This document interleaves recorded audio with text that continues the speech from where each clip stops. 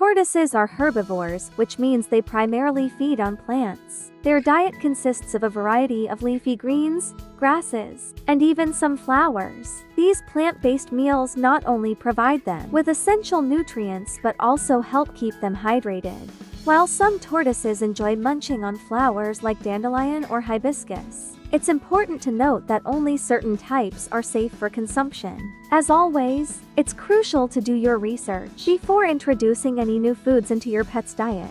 Arcadia's Optimized 52 provides a wide variety of tortoise-safe foods. It certainly has become the base of all my torts daily salad. And they all love it.